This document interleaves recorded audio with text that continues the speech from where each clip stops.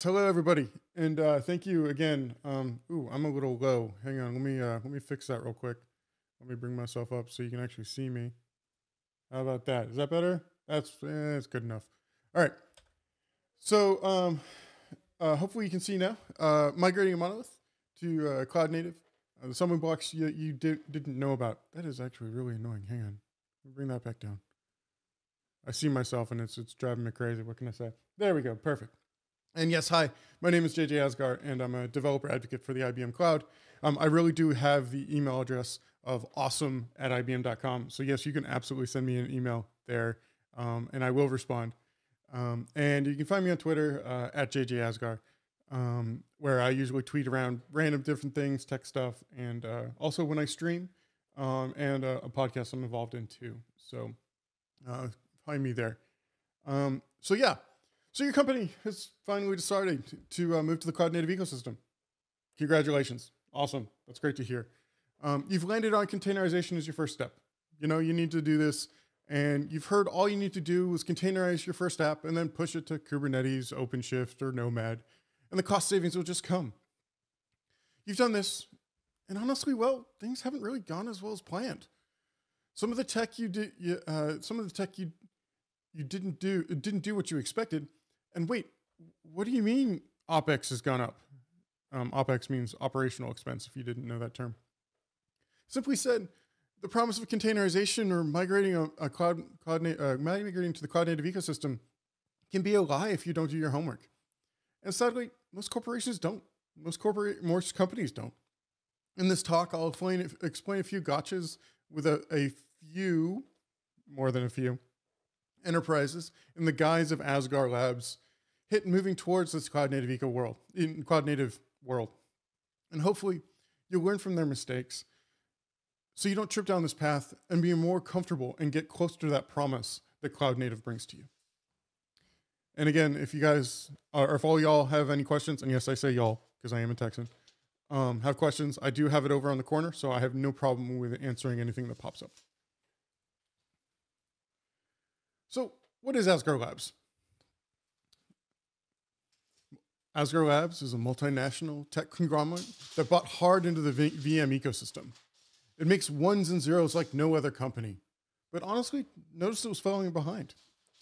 In all seriousness, Asghar Labs is just a collection of different companies I've seen, I've taken stories from. And I saw the same issues over and over and over again. And yes, Asghar Labs is a fake company. And no, they're not hiring. Sorry. And I will call. I, I I do my best to make sure and I don't mention company names. And you know, it's it's one of those things you've got to be kind of careful about. But I do my best saying Asghar Labs instead of random Fortune 50 company. Cough, cough. That was supposed to be a joke. So, what did Asghar Labs think, or what did they thought they needed to do? like every company that I talked to that it, came across, and they ha- they they have this idea in their mind. They only thought they could just take their their plan from migration to the physical data center or co-location to the VM ecosystem. They use the same, same technique they use their monolithic applications to the cloud native. Bare metal to VMs is the same as VMs to containers, right? You'd be amazed on how many times I have this conversation where they spent all this time moving from bare metal or physical machines and they're like, hey, we got a bunch of VMware stuff. We threw ESXi in all our machines. That same concept, right? We can just like rub some Chef or Puppet or whatever on top of it and everything will be great. So yeah, you know, why can't I just take my VMs and take my Chef cookbooks or my Puppet manifests or my Ansible playbooks, turn those into containers and throw this up on Kubernetes? Well, I'm here to tell you there's more to this story. So, no, TLDR, uh, bare metal to VMs is not the same as VMs to containers. So let's talk about where I usually come into this conversation.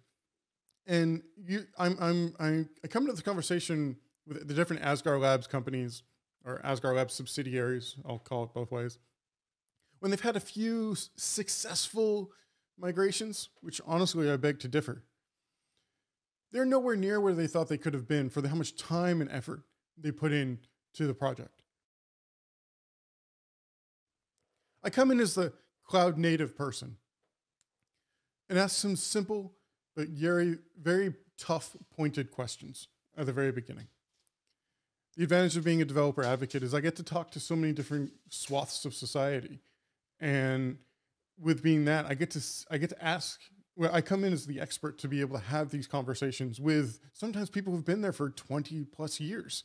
And I come as the young buck. Granted, I do have quite a bunch of gray in my ear, my my, uh, my beard here, but I do come in asking these questions that people genuinely don't think about. So let me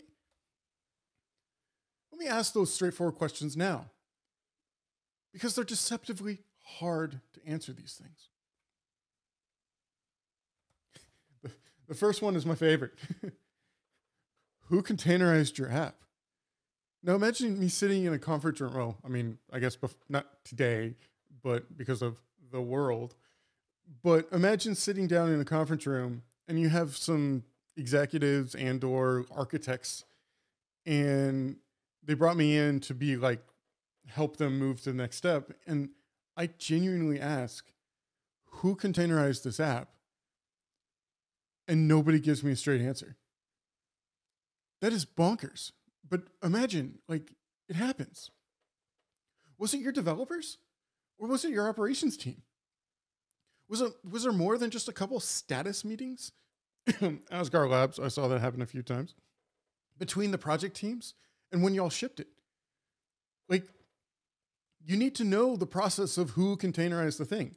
Yes, the promise of containerization is a Docker container works, you know, anywhere the OCI is. But if you don't know who actually built the container and like what pro- what team was responsible for that, that's a that's a really big red flag.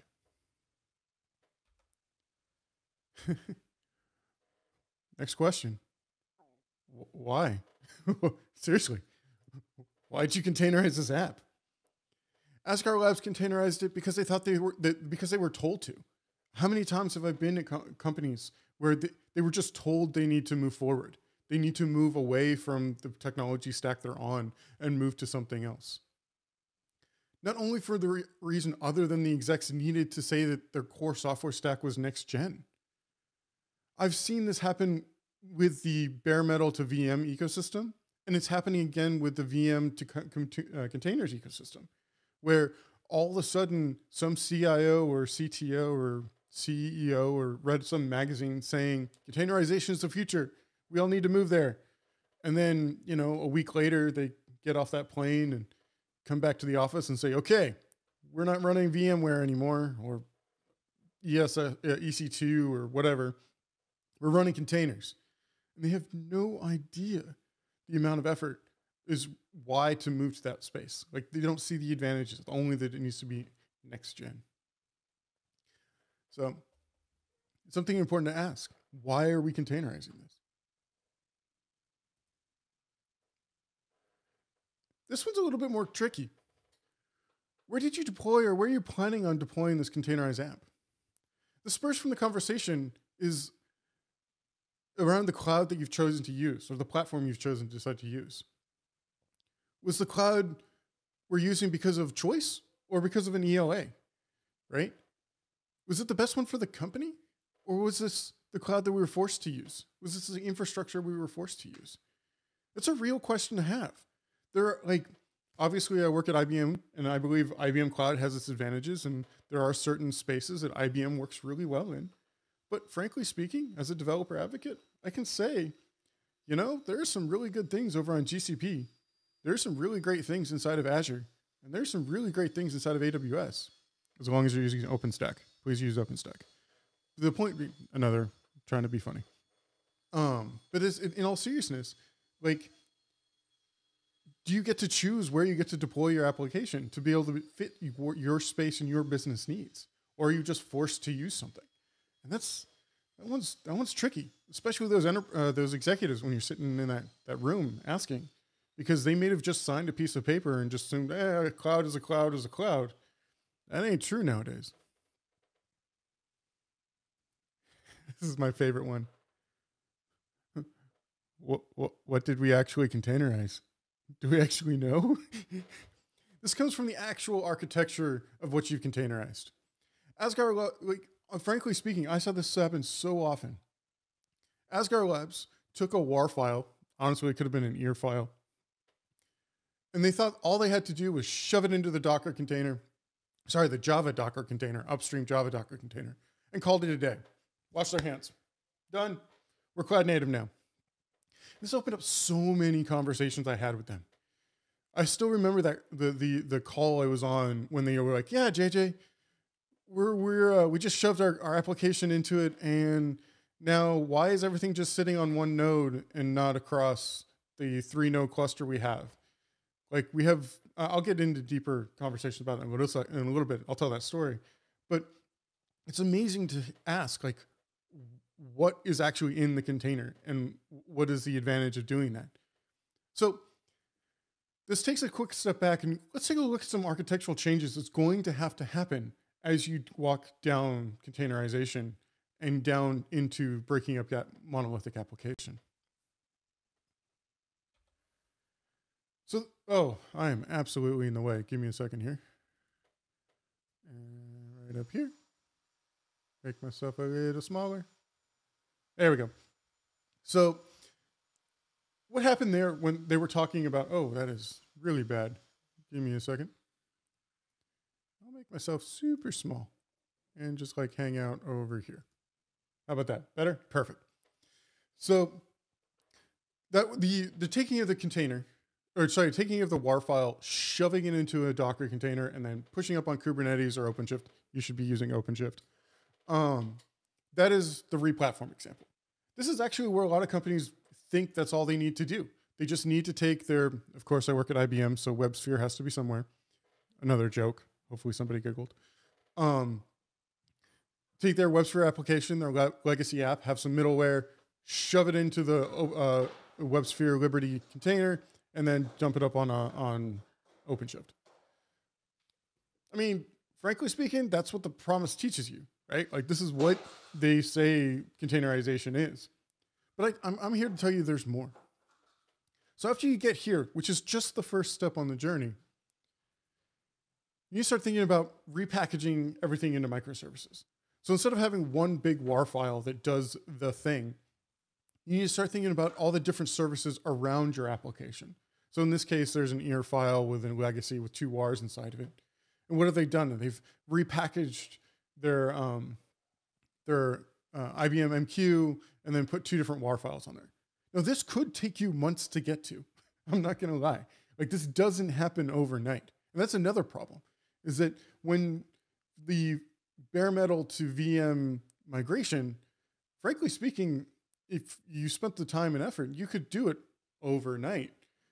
But with what's going to happen here, there's going to require a significant amount of engineering effort, and I'll get into that in here in a second.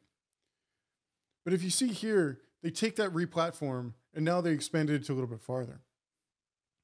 And then finally, the ultimate goal is the strangler pattern.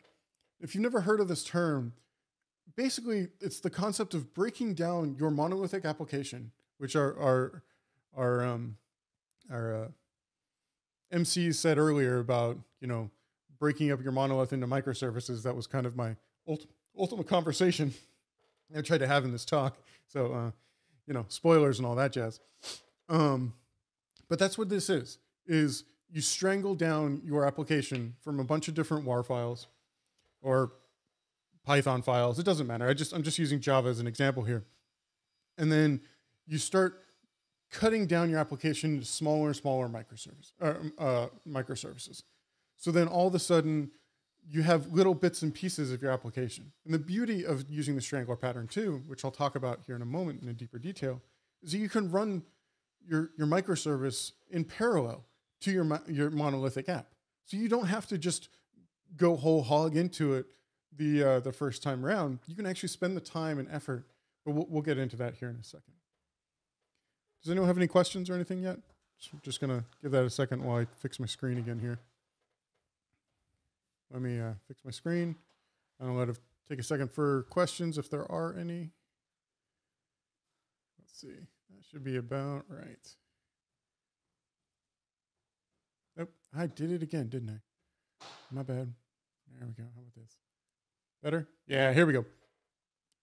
So, so let's talk about some um, the architectural advantages and disadvantages of going down this path, right? So, we, we we've we've understood that replatforming is just a step, and oh, awesome! Thank you, Daniel. Um, so there's no questions quite yet. Perfect. Uh, so so as you've moved from your from a replatform, started moving towards um, your strangler pattern. So let's talk about those the architectural advantages and disadvantages. First of all, the main main advantage, simply said, is velocity. No joke. The ability to focus on your own histories and scoping of your clusters to what you actually need. One big pod isn't as good as a bunch of smaller pods. Whoever's telling you you should shove all your application into one pod on Kubernetes doesn't understand what containerization is. I've actually had e, um, enterprise architects saying, yeah, we just put everything in one pod and we shove it up on a Kubernetes container or Kubernetes cluster. And why why can't we leverage to like everything? Because pods don't split across clusters. It, it, just doesn't happen that way. The whole point is a pod is a an entity, and the ability to focus on smaller pods with smaller uh, responsibilities, in instance microservices, then you'll be able to actually horizontally scale and then have your cluster to be what it actually needs, which in turn save you money instead of spending n number of thousands of dollars a month on a cluster that doesn't do anything, if that makes sense. But there's some disadvantages attached to this, and simply said, this requires a higher level of cooperation you'll need to build out more advanced integration tests. And frankly speaking, a completely different deployment and probably policy system. This is this is a huge cultural change for your company. And a lot of people are scared of it when they start start seeing these changes happen. So I didn't realize CCB wasn't a uh, uh, industry term. It was a term that I, I knew of when I worked at uh, Dell Dell Technologies. Um, I live in Austin, Texas, so um, Dell is really big around here. So everyone works at Dell at some point in their career. And at Dell, they had something called the CCB, or the Change Control Board. And what do you mean, JJ, that our goal is to move away from this change control board? Well, at Dell specifically, um, sorry, at a Asghar Labs subsidiary, that was a mistake, sorry. Um, you've probably built an operations team or production team that goes through the CCB, right? They're the ones who actually hit the button to deploy the software um, or release the new WAR file to restart everything to do your your your monthly or biannually release. And you've actually seen there's there's a strong possibility that there oh before you know the world there was this, probably this conference room where you had your dev team, your dev manager, your QA manager, your production manager, your VP, all say go, no go, right? Like we've all seen that, like do the thumbs up thing. Well, believe it or not, this still exists today in some form or another at the companies I've worked for, where I've asked, like, how do you deploy stuff? They're like, oh, we have a monthly meeting or a weekly meeting about different JIRAs that have been agreed upon and we ship them. And I'm just like, this is so dumb. But okay, cool. and people find comfort around this, right? Like they know that they everybody says, yes, we can deploy this thing.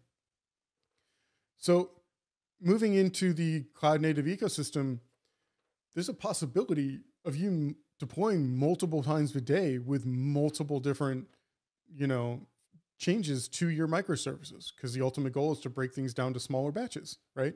Just like they do, they talk about in Eliyahu Goldratt's um, The Goal or uh, Gene Kim's uh, Phoenix project, small batch changes are the way to move quickly.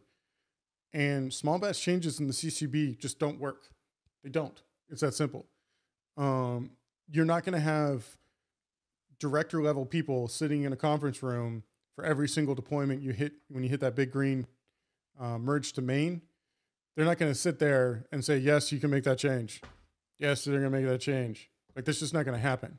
You're going to have to trust and build trust into the system to do that. But I'll get into that deeper here in a second. Hey, hey, JJ, um, are we doubling up on things? I hear there's this whole ecosystem around OpenShift or Kubernetes, and like, why do I have this like load balancer now in my data center? Like, isn't there a load balancer built inside of Kubernetes?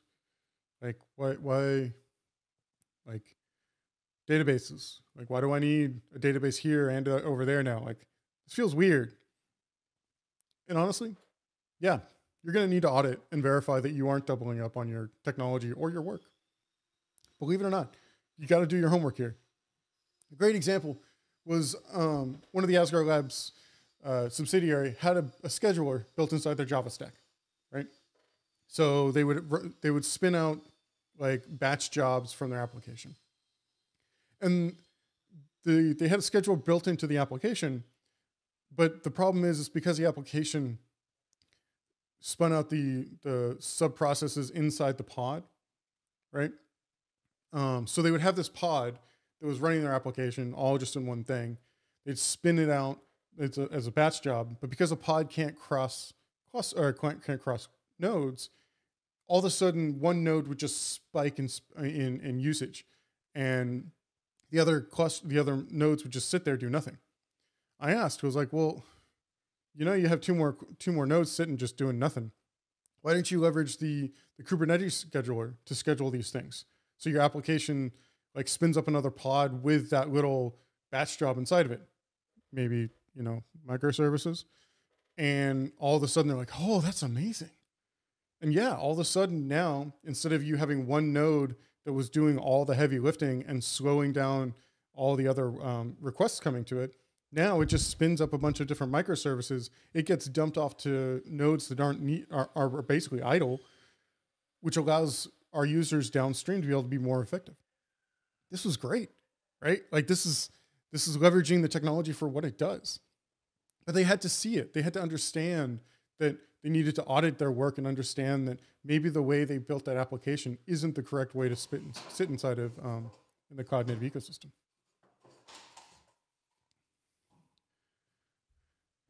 So, isn't uh, isn't automation good here? And again, I am covering myself. Make myself smaller. There we go. And uh, why is everything so complicated now? well, first of all, of course, automation is good here, right? Like that's you're not you're not going to have your CCB or your directors sit around that table and give you thumbs up every single time. You need to leverage automation with all the moving parts, you're going to need to leverage some type of some type of automation around it because humans are error prone and you need to let the bots do the work for you. You need to take the humans out of the equation. You need to trust the bots to do the work for you. And honestly, it's all your app has probably always been this uh, this this complicated. Like frankly speaking. But unfortunately only like your enterprise architect and maybe your senior developers ever understood how complicated it was, right? You've probably never been able to visualize the complexity when it comes to your application because it's been hidden behind a bunch of different functions and, and features of your application as it's just one WAR file or however you do. Again, I'm using WAR file as like a catch-all. It could be an exe. It doesn't matter. It's just one monolithic app. But now because you've broken your thing up into microservices or you move towards a cloud native space, all of a sudden your application is this massive, massive spider web of, of interconnectivity that you're going to have to start leveraging stuff. When you truly get to microservices, you'll be amazed on how much information you actually get out of seeing your application out in the space. And a great way, and a great quote from a friend of mine, Rob Kidd, basically said it this way is when you have a um, um, monolithic app, you have a ornery bull mastiff. Like it's a big, big dog. But now you have 13 yipping chihuahuas because you have 13 little dogs that are just yipping away. They're all dogs still, right? They all require care and feeding. But no longer do you have this one really big dog you have to take care of. Now you have to take care of 13 yipping chihuahuas. It's a weird kind of great paradigm switch. where you're all of a sudden it's easier to take small care of a small yipping chihuahua you can pick it up and move it around if you need to and not worry about the third well you should probably worry about the 12 other ones but you get the point instead of you having to pick up one big bull mastiff to do something with it take it to the vet take it to a walk whatever so it allows you to have that kind of paradigm where you can make easier changes to smaller things but to layer it on top of that, to quote another great friend of mine, Ken Marriage, Margaret, I can never say his last name correctly. Um,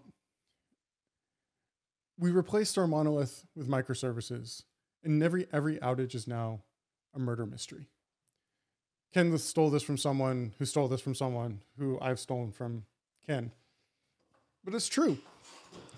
On the flip side, if something goes wrong, just as Ken stole this quote, it really does hit home. Now it really becomes a murder mystery. Take a moment and think about that.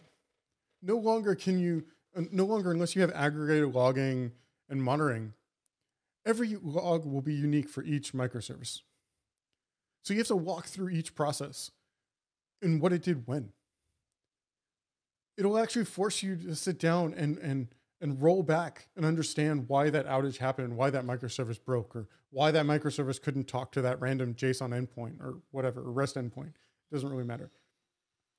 So you have to actually start placing and, and playing, be, basically becoming Sherlock Holmes. but in turn, this will end up forcing you to create standardized logging and the ability to roll information up in a, in a correct way. And I'll get deeper into that here in just a second. So let's talk about some questions you should ask about when this culture shift will happen. I mentioned that CCB earlier, and at Asghar Labs, the CCB became something of almost like what the Phoenix Project had, as I mentioned earlier. No one showed up. Or sort of, they sort of showed up. They said yes and go, no go. It was it wasn't engaging. If anything, it was a burden, right? With moving to cloud native, you'll naturally have to start building self orchestration inside of it. You have to start trusting your your engineers and your your um, the bots to do the work for you. To, to self orchestration for rollouts and updates. All of a sudden now you you say, hey, if the build is green, and we know our integration test has gone correctly, there's no reason why I can't hit this merge to master or merge to main and get this new feature set pushed out like I mean, obviously you're gonna have to work with the different teams to do make sure that all everyone's happy about that. But at that point, then now you're just worrying about features. You're no longer about worrying about the build. Of course, now you know when the build breaks, that dunce hat's gonna have to go on somebody. But it's important to, to recognize. You'll lean more and more on pipelines and collaboration to get the different widgets out that you need at the right time. And that's really important because you're absolutely going to need a pipeline like you're going to need to use some some type of CI and CD. With a cultural shift that happens, you'll start building more intelligent pipelines built for CI and CD. So continuous integration is easy. Continuous delivery is the real challenge.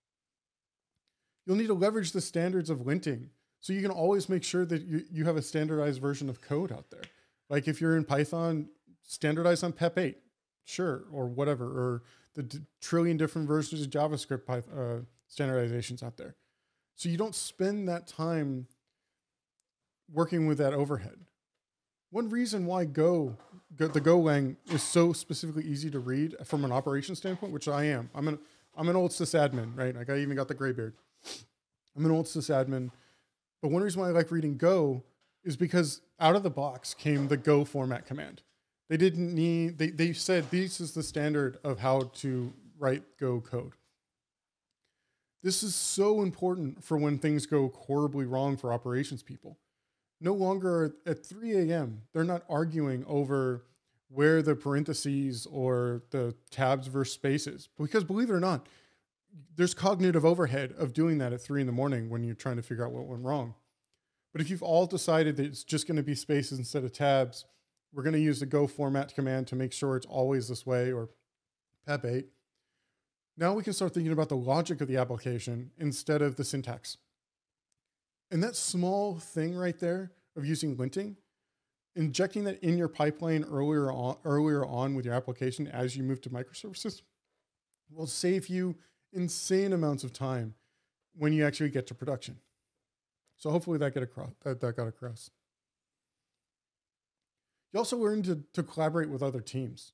How many times have I actually been on a call with multiple teams at a higher level at a corporation that didn't even knew that they knew they existed, but never actually talked to them? Ah, so no, Norbert, you asked, is there a transformation also? Oh, there's a couple questions in here. Um, transformation also possible with a monolith that has, say, five different apps, uh, third party apps as an interpret. Well, yeah, Norbert, of course, there, there, this transformation is absolutely possible with that, but you need to start breaking it down into um, smaller and smaller chunks. Like you can't boil the ocean, right? Like that's another important thing that hopefully this talk gets across is that you cannot boil the ocean. You have to start understanding and decoupling the different, um, in your case, five different applications, so they can work work separately. And then when they can work separately, and they have a third party upstream or downstream, maybe focus on decoupling from that. So, I mean, obviously, I don't know what your application does or what it what it has, but you start segre- uh, um, segregating your applications into safe, safe spaces. And then, believe it or not, by creating those those walls, you're in essence creating containers even if they are just log- logical. You haven't physically turned it into a container yet, but if you can understand where those boundaries are, then breaking it up into a container is much easier. And then you can start building it smaller and smaller. Norbert, I hope I answered your question. Uh, Daniel, you put a rather large question of, uh, I'm not going to read the whole thing, but the question is, uh, oh, thank you. Thank you so much, Daniel. Um,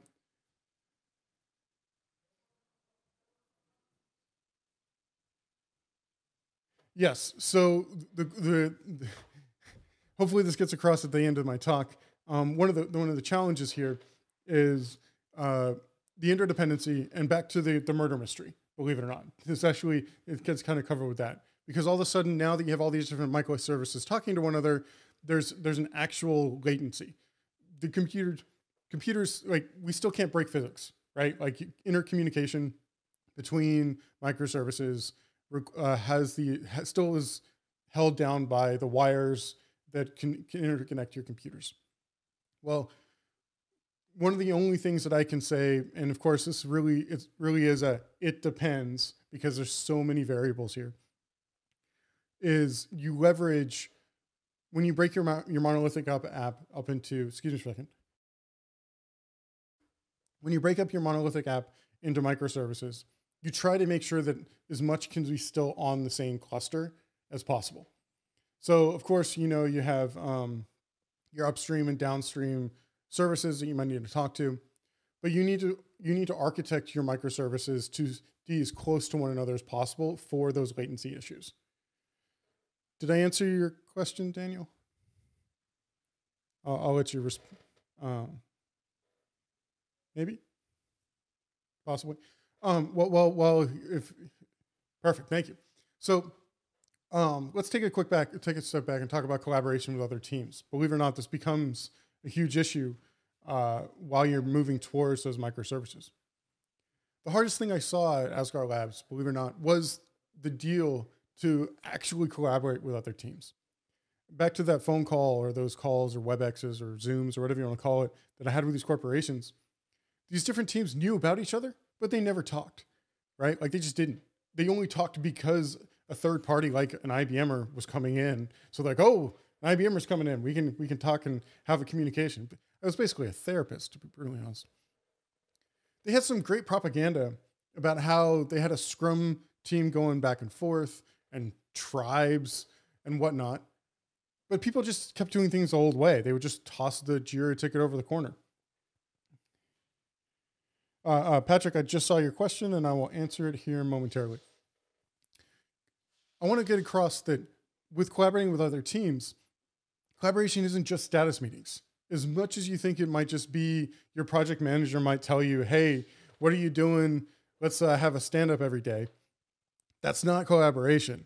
That's them being able to report something into probably an Excel spreadsheet or a Gantt chart somewhere, which is not not working doesn't work in the cloud native space. Again, you need to trust self orchestration to be truly successful. You need to declare shared contracts between different teams. Like that project manager shouldn't be asking about tickets anymore.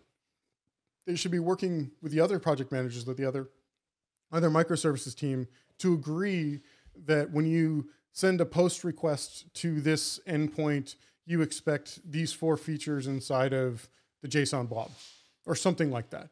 You expect this to come back, or you expect always to have this endpoint as your health check endpoint. I don't know. It doesn't matter. The point I'm trying to get is, is no longer is it tracking tasks. It's now building shared contracts between between teams. Tickets can only get you so far. But the most successful thing I ever saw, believe it or not, at Asghar Labs, and this this happened at one company, and unfortunately, still have not given me permission to actually talk to them, talk publicly about this. But every single sprint, they would take one person from each team they had and switch it to another team. So they would randomly choose someone in in in in, in the little team that was working on whatever feature, and they would pick them up, or what metaphorically pick them up, and then move them to another team. Now, this had to come in. This had to come down from the the executive standpoint, right? Like you need executives to buy in on this because initially, your your uh, your production and your feature sets are going to just come grinding to a halt. But after the second or third sprint, so every two weeks, now we had two week sprints. Uh, so after the maybe the sixth week of doing this total, all of a sudden their velocity skyrocketed.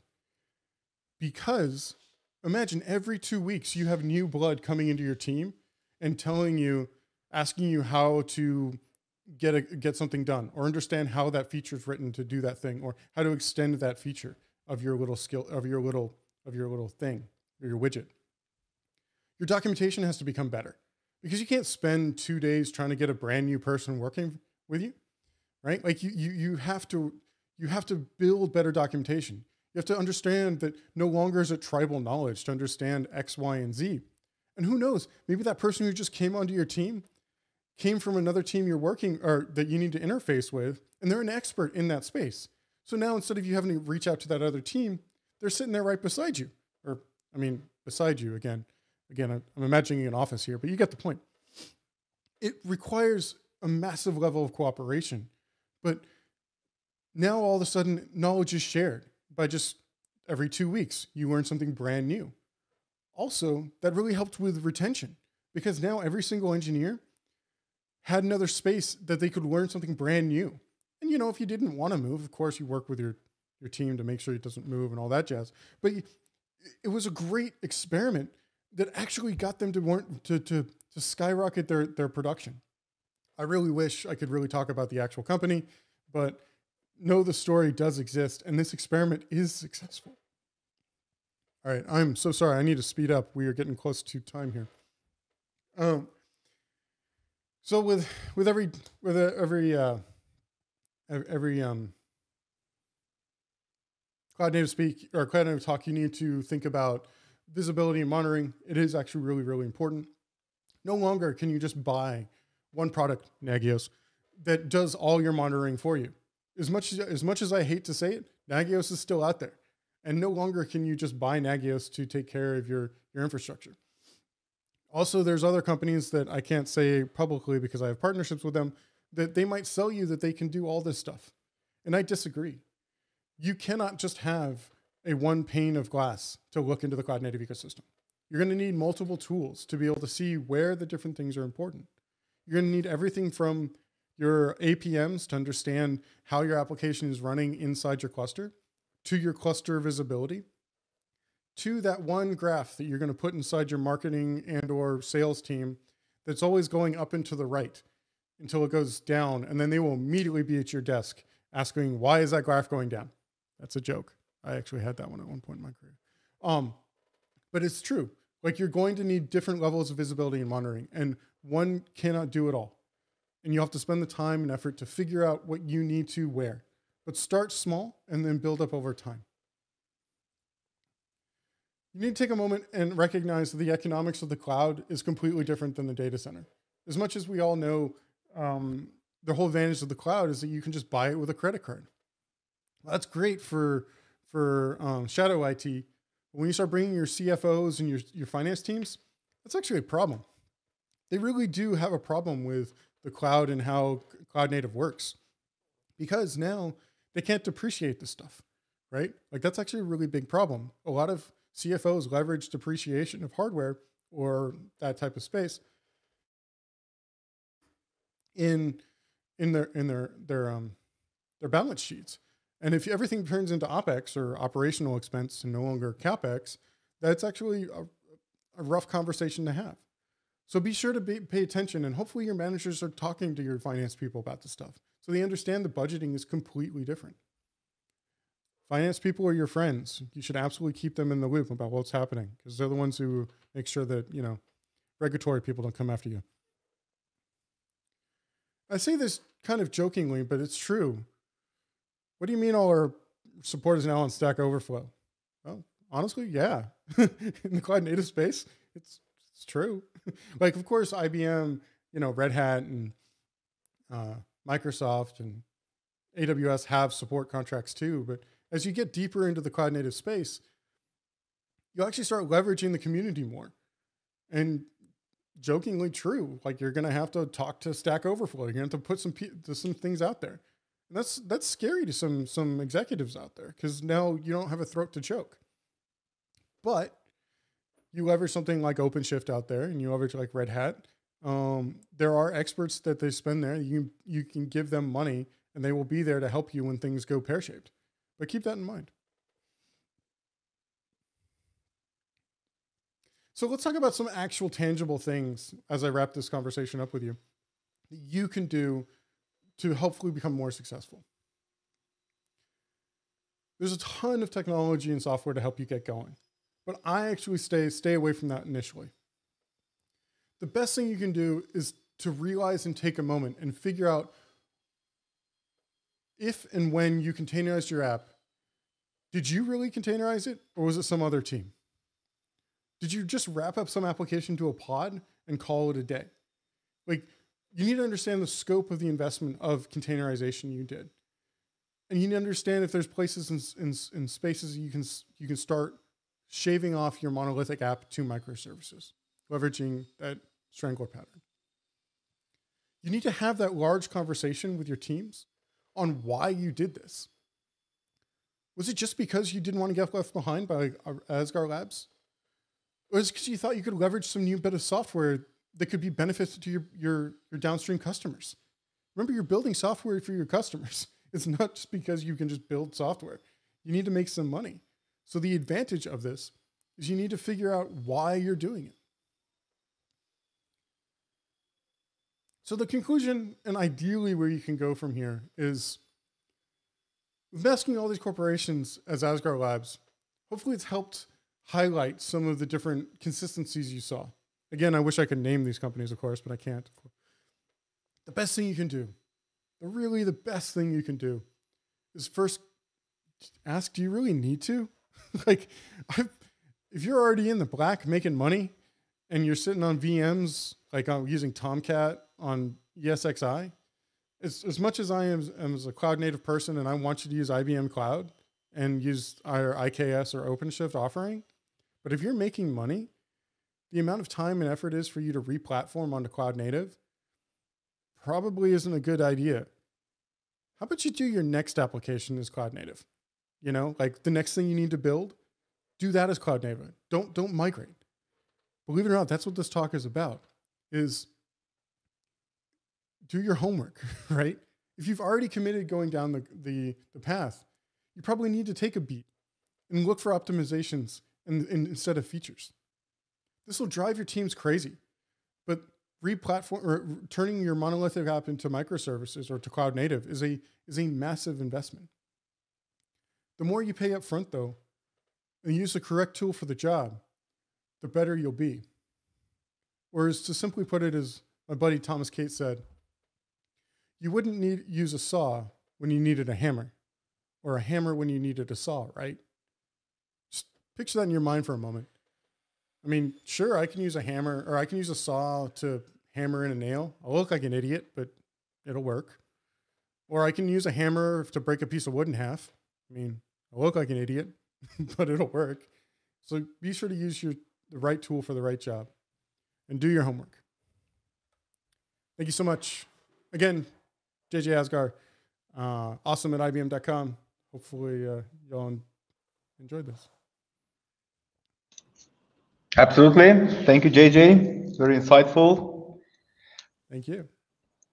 and the question, the question is, uh, speaking of, you know, why shouldn't we re-platform, uh, you know, go native when it's not needed? I mean, from your experience, do you remember any valid uh, uh, use cases when people did it right and uh, then, well, the not so valid ones when they. um, well, you don't have so, to. You don't have to provide names. No worries, but yeah. we just want to learn from practical. mm-hmm. uh, yeah. So the the short of it is is I usually came into conversations because I'm a cloud native person. I'm, I'm an infrastructure sysadmin person. Like I, I play a developer on TV, but you know, I, I spend more time at a bash prompt than I do like inside of an IDE, if that makes sense. And when I usually come to conversations, it's usually because they were spending too much money on cloud and not understood why. And or they were trying to they they tried to move into uh, Kubernetes and they were running from a monolithic app running on a VM to that space. And I came in only seeing the, the pain, right? In the pain that I saw over and over and over is these conversations, is because they don't, they're not successful, right? Like, yes, you can shove your container, you can shove your WAR file, as I keep saying, or your your Python file or or your, your exe into a container and put it on Kubernetes and call it a day, but you're gonna have downstream problems. Successful ones, though, on the flip side, and this is not me saying as an IBMer or as an IBMer who runs Red Hat, but as an actual engineer, the actual successful ones I've seen is when they've completely abstracted away the infrastructure, right? Where all of a sudden infrastructure doesn't matter anymore because all they have is, in essence, an API to deploy your application. So going back to like the Heroku world or the Cloud Foundry world, right? And believe it or not, OpenShift which is the enterprise version of, of Kubernetes for from Red Hat, is that space. Because all of a sudden, as a developer, you don't care about what's going on inside the infrastructure. You don't care about the cluster at all. You just have this OC apply command, or like you hit a button and it, it does a, a webhook whenever you push a new thing to main or master on GitHub, and it just deploys your app and you say, fuck it, I'm done. Like that's from a developer standpoint, that's what you want because you want to spend your time with your application, not dealing with the intricacies of Kubernetes. Did I answer your question? Definitely. And there is a thank you, JJ. It was awesome from Daniel. I'm thank sure you. many other people feel the same. we do, right? And there is um there is another one. Uh, do you? Oh, but but I think you already tackled this uh, this question about the multi-threading services. Of... Failed. Uh, yeah. this one. Mm-hmm. yeah, that, that again, that's that's very like specific and like it really depends on how your application is designed yeah. and, and developed. Like it's it's I, I can't I can't answer that question unfortunately because I, I don't I don't know your application. Now it's a lot of specifics, and coming back to the earlier discussion, you need to consider all scenarios. And uh, I think once to decide whether you want to go to microservices, even after you go there, there are a lot of things to be considered how you do them. Just as an example, if you think about uh, shared functionalities between uh, microservices, you can do it in a numerous ways. Which one will you choose? There's no answer. It really depends. That statement we all love and hate at the same time. Yeah exactly. but what's always interesting is that uh, i mean you would expect the technical things would be the hardcore stuff. But oh, that's not entirely true. I mean it's how you organize the teams and, and the, it's more always much more than the technical thing what's the joke is that um, you have the beginner developer who wants to use just an if then statement. You have the mid level engineer who wants to use a case statement. And then the senior engineer is just like, fuck it, I'll do an if then statement. It doesn't matter anymore. all right, all right. So I, I, I, think this this concludes our day, right? The first Indeed. day of the one with design and architecture. It's been a well, really, really insightful day uh, for us and for for the audience. And then thank you, JJ, and thank you everyone for for uh, joining us and uh, uh you know being part of these conversations. JJ, we're really looking forward to to uh, having you next time uh, at CodeCamp. Hopefully, sometime soon, and also in person at some point. I mean, well, let's hope stuff in this world gets more normal from I all agree, and I, I, would I'd love to be on a plane to come see y'all. Um, I I I actually have been told Bucharest is um, one of the best cities on the planet by a buddy I grew up with, and he's like, JJ, one day you need to be there with me, and I'm like, yeah. I need to find a be- reason to be in Romania. I just I just need well, to be there. Let's make it happen. Absolutely. Awesome. Thanks, y'all. Thank you again, JJ. It's been a pleasure having you here.